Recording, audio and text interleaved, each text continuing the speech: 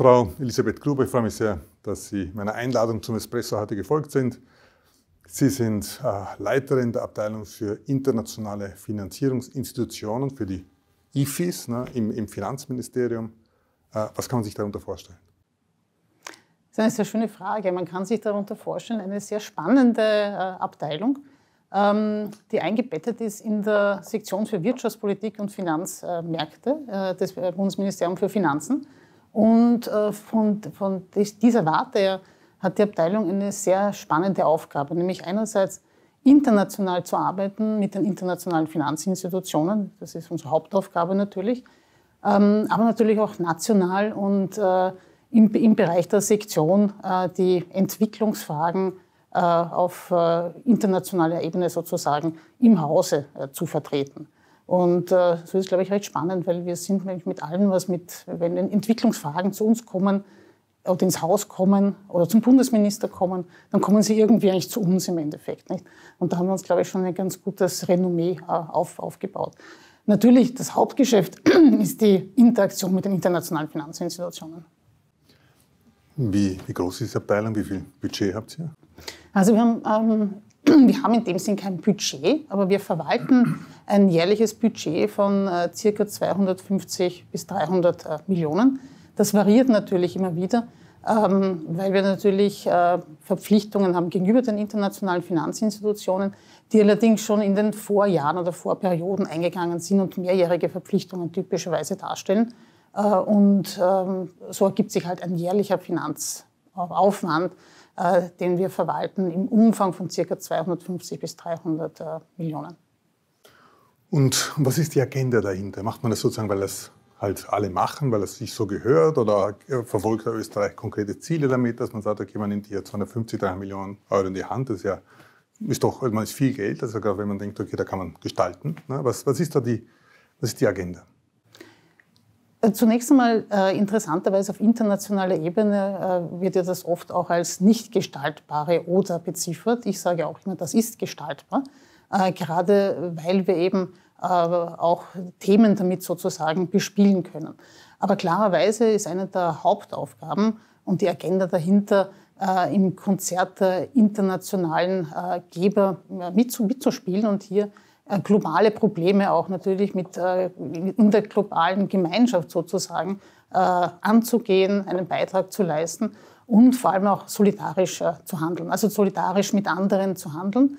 Ähm, wir sehen uns hier oder vergleichen uns oft mit äh, circa gleich großen äh, Ländern, also äh, von der Wirtschaftsleistung her oder auch von der Bevölkerungsanzahl her. Oft nehmen wir natürlich die Schweiz heran als ein Beispiel oder oft gerne auch Belgien oder auch die nordischen Staaten. Und da sehen wir dann sehr gut, dass wir eigentlich so circa im Mittelfeld sind. Also wir sind bei manchen Bereichen besser, bei manchen Bereichen schlechter. Wir spielen da, irgend, also wir spielen da mit und, ähm, und tauschen uns natürlich aus. Nicht? Das sind sehr wichtige Partner, wo wir natürlich auch Beziehungen aufbauen auf bilateraler, Ebene zu den anderen Ländern, aber natürlich auch zu den äh, Institutionen. Und man muss das eigentlich als ein langfristiges Engagement sehen. Nicht? Und äh, in diesem langfristigen Engagement haben wir also hier eine gewisse äh, Reputation aufgebaut, ein verlässlicher Partner auch zu sein. Jetzt haben Sie gesagt, Sie machen es besser, machen es schlechter. Man was kann ich darunter vorstellen? Was kann man hier besser machen? Was kann man hier schlechter machen? Was, oder anders gefragt, was, was sind so, so Best Practices oder, oder, oder, oder ja, also Investitionen, auf die Sie besonders stolz sind? Ich glaube besonders, also man kann immer, ich hoffe, wir machen das sehr gut. Also ich meine, wenn Sie mich fragen, was man schlechter machen könnte, das möchte, möchte ich nicht. Also, ich meine, möchte, also wir haben einen gewissen Qualitätsanspruch natürlich auch.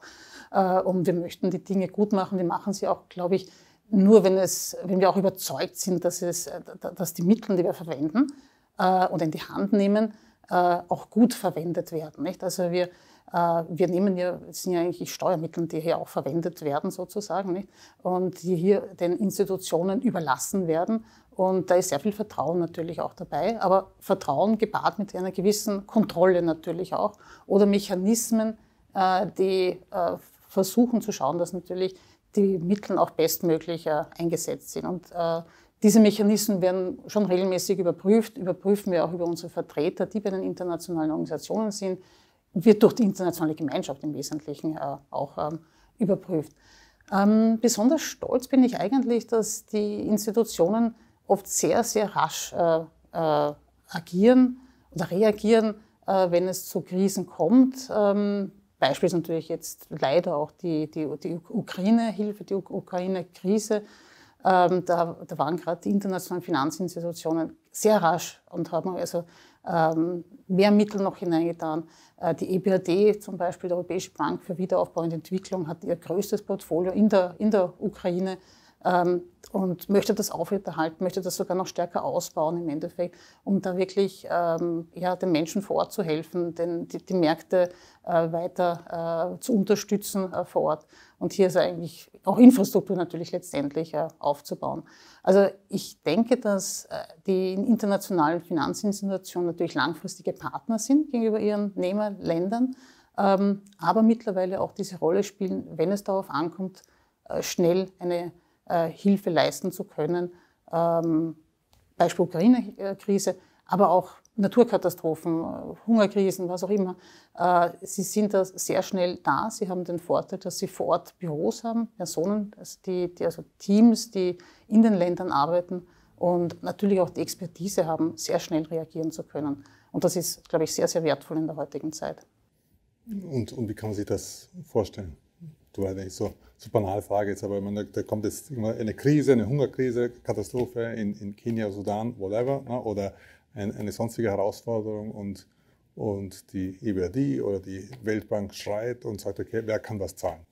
Sie, sie, sie, schreit gar nicht, sie schreit dann ein bisschen später, mhm. aber sie ist schon darauf vorbereitet. Es gibt äh, so, also Krisentöpfe, die sie parat hat und die auch schon vorab genehmigt sind, dass wenn eine Krise kommt, sie darauf sehr, sehr rasch äh, reagieren kann und diese Mittel zur Verfügung schon bereits da sind. Nicht? Also Beispiel innerhalb der Internationalen Entwicklungsorganisation, der AIDA, den größten Topf, den es auf internationaler Ebene gibt für Entwicklungszusammenarbeit äh, für die ärmsten Länder, gibt es eine kleine Fazilität, so ein Window sozusagen, oder einen Rahmen, äh, der für äh, Krisenausgaben vorreserviert ist. Und sollte eine Krise kommen, der so genau definiert ist, das können also Naturkatastrophen sein, Wirtschaftskrisen, ähm, äh, politische Krisen natürlich auch, also wenn, wenn, wenn eine, sehr, eine sehr fragile Situation eintritt, dann können Projekte in das Board, äh, in das Direktorium der Institutionen auf sehr rascher und kurzer Basis äh,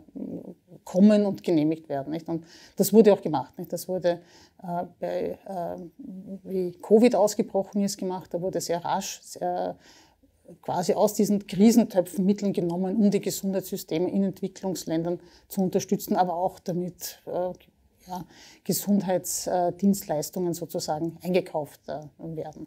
Und damit die Töpfe sozusagen voll sind für solche Krisen, braucht es vorher die Absprache, muss es genau. davor die, die, Commitments geben genau, der, der genau. verschiedenen Ministerien und, und genau. nach welchen Schlüsseln wird er verteilt oder, oder, oder gibt es da Schlüssel oder, oder sagt man, gibt es da Prioritäten, die Österreich setzt, wir machen bei diesem Topf mit, bei jenem nicht oder, oder wie, wie läuft das ab, diese Entscheidungsfindung? Diese Entscheidungsfindung, also das sind quasi äh, Töpfe innerhalb eines großen Topfes sozusagen. Nicht? Also innerhalb der weichen Fenster, die bei den internationalen Finanzinstitutionen sind. Äh, diese weichen Fenster werden regelmäßig äh, sozusagen wieder aufgefüllt durch die internationale Gemeinschaft. Da sind wir auch dabei. Und da finden sogenannte Wiederauffüllungsgespräche oder Verhandlungen mit den Partnern statt unter anderem auch Österreich, da sind wir vertreten. Und da wird dann in der Gemeinschaft quasi diskutiert, welche Schwerpunkte möchten wir setzen. Und da wurde, also zum Beispiel bei der ähm, Internationalen Entwicklungsgemeinschaft, der AIDA, äh, wurden jetzt die Schwerpunkte auf Fragilität gesetzt, Klimaschutz, dann eben auch eine Krisenmaßnahme, äh, um halt schnell Mittel da zur Verfügung zu stellen. Äh, Gender ist auch ein, ein, ein Schwerpunkt. Und ähm, ja, so wird das diskutiert, wird festgelegt, was, was möchte man eigentlich mit, das, mit, mit diesen Geldern in der internationalen Gemeinschaft auch tatsächlich tun und ähm, ja, mit, in welchen Anteilen sollen sie auch verwendet werden, für welchen und welchen Zweck. Nicht? Eine, eine IFI, eine internationale Finanzierungsinstitution, die in, in Wien wächst und wächst und wächst, ist die Weltbank. Mhm. Ne? Man da, da ist auch österreichisches Geld sehr stark drin. Man, was sozusagen Macht das was mit dem, mit dem Standort hier? Hat Österreich davon Vorteile, dass hier die Weltbank so, so massiv irgendwie jetzt ausbaut? Ähm, wie sehen Sie das? Also nachdem ich sehr involviert war in, in den ganzen Prozess und mich seit, seit Jahren damit beschäftige, äh, bin ich dann natürlich ein bisschen biased, muss ich dazu sagen. Aber ich, ich, ich, sehe es sehr, sehr positiv und ich bekomme wirklich sehr viele mittlerweile sehr positive Rückmeldungen. Ähm, das, das war ein, ein, ein Prozess, der, der, langsam gewachsen ist. Man hat also klein, wir haben klein begonnen, schon vor eigentlich 15 Jahren könnte man sagen, in dem ein paar Programme gezielt unterstützt worden sind äh, bei der Weltbank und wo wir gesagt haben, wir möchten, dass diese Programme von Österreich aus, von Wien aus äh, operativ sind sozusagen und einen Schwerpunkt haben in Osteuropa, Westbalkan, in unseren Nachbarländern sozusagen.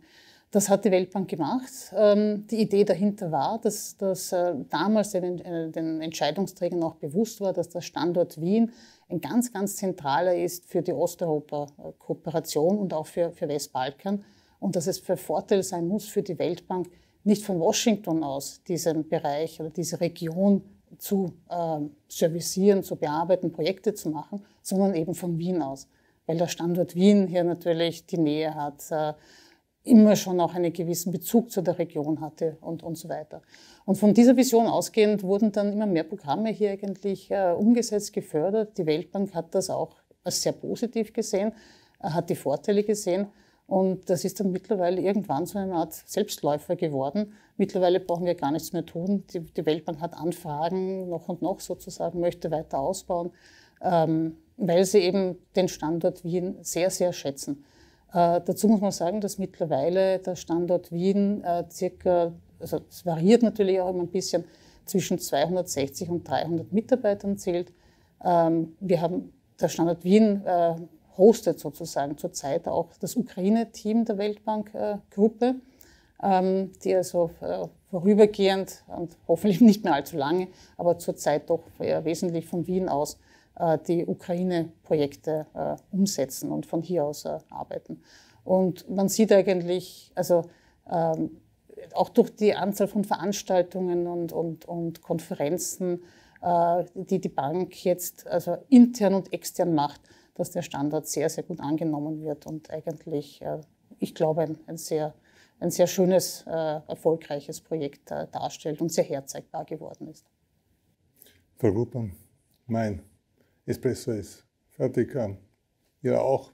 Vielen Dank fürs Gespräch, war sehr interessant. Danke. Dankeschön. Danke.